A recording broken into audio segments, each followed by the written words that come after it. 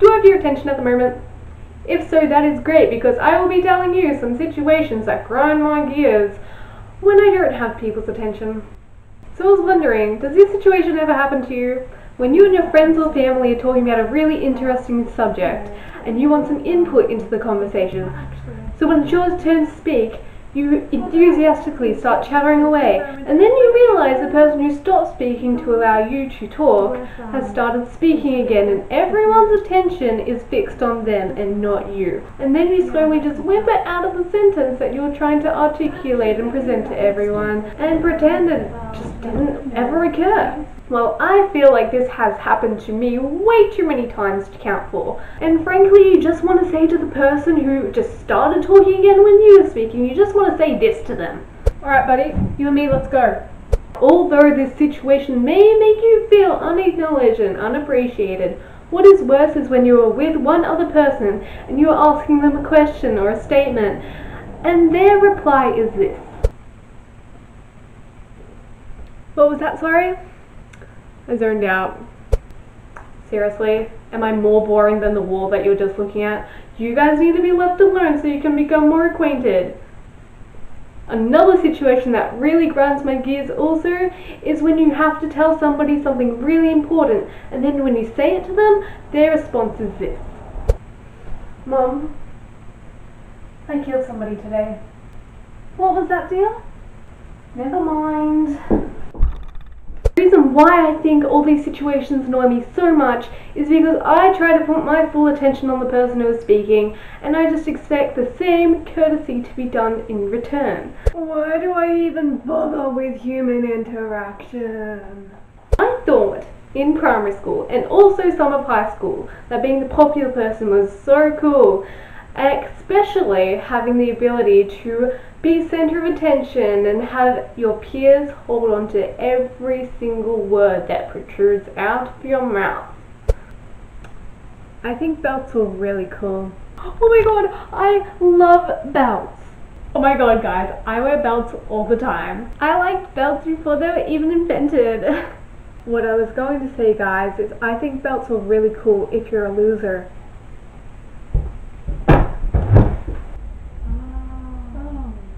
My interpretation of being popular. I, unfortunately, in primary school and sometimes in high school, was one of those monkey see, monkey do kind of kids. I wanted to be noticed so desperately that I was considering doing some of these actions to get noticed.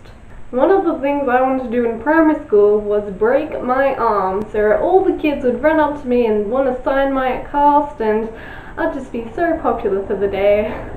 This would happen in primary school. I never did this in high school. This was just primary school. But in conversations, sometimes I would change up words to sound like another accent. Mostly Canadian. How about you? What? How about you? It's about, not about. Mm, I was saying about the whole time.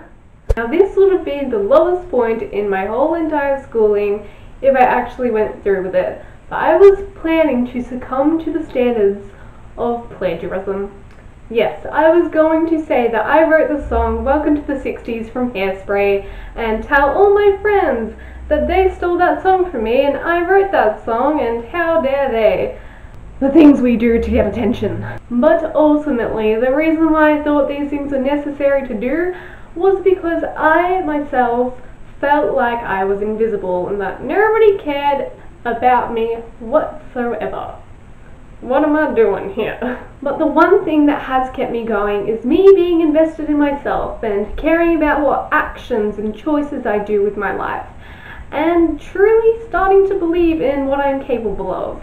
And when you do start valuing yourself and giving yourself the credit that you deserve, people start noticing that and they'll be like, hey, she seems like a hella cool chick. I might go up to her today and speak to her and become friends with her because she's so cool, right? But basically guys, the moral of this video is if you want attention, you have to give yourself the attention first and give yourself the value that you deserve. We are more valuable and uh, capable of doing things than we realize that we are. So start believing it, okay? If you guys like this video, please thumb it all up and please let me know in the comments below what other topics you'd like me to discuss in a later video that I will be filming. You can check out my past videos here. I will be doing a time lapse for next week's video, so make sure to be subscribed for that. And you can subscribe here if you'd like to. Anyway guys, you stay wonderful and I will see you next week. Bye!